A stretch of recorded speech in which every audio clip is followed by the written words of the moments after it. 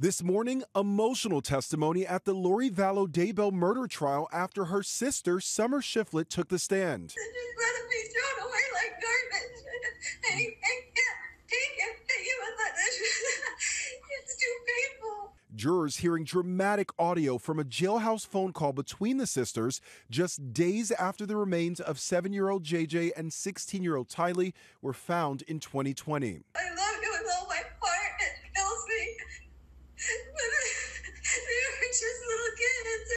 Daybell and her husband Chad allegedly killed Lori's children as part of a religious cult preparing for the end of the world. I love them with all my heart. I would have taken Tylee and JJ in a heartbeat, and everybody else would have too. You know that.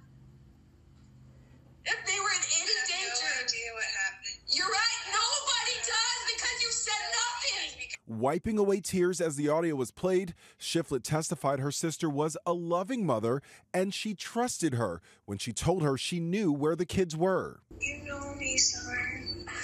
That's what I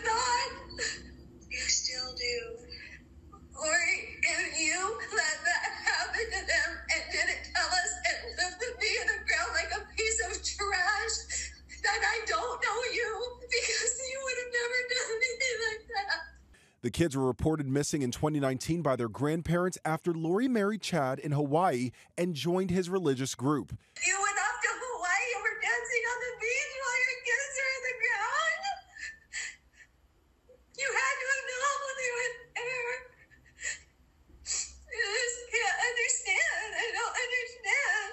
The children's bodies were found buried on Chad's property. He's also accused in their murders and will be tried separately.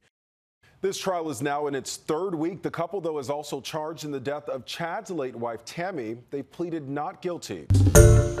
Hi, everyone. George Stephanopoulos here. Thanks for checking out the ABC News YouTube channel. If you'd like to get more videos, show highlights, and watch live event coverage, click on the right over here to subscribe to our channel. And don't forget to download the ABC News app for breaking news alerts. Thanks for watching.